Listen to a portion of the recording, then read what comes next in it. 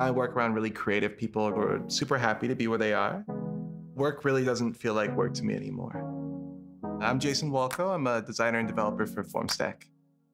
I was working at a healthcare company and just a little bored. My company needed a new website.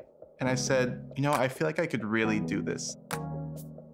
So then I started researching. I found a few different companies that were doing online only boot camps.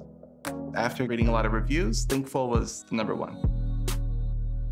The big selling point for Thinkful was once you get done with this coding bootcamp, you'll have a full portfolio.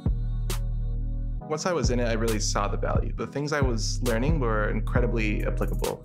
I was able to get a job within a week of graduating at Thinkful.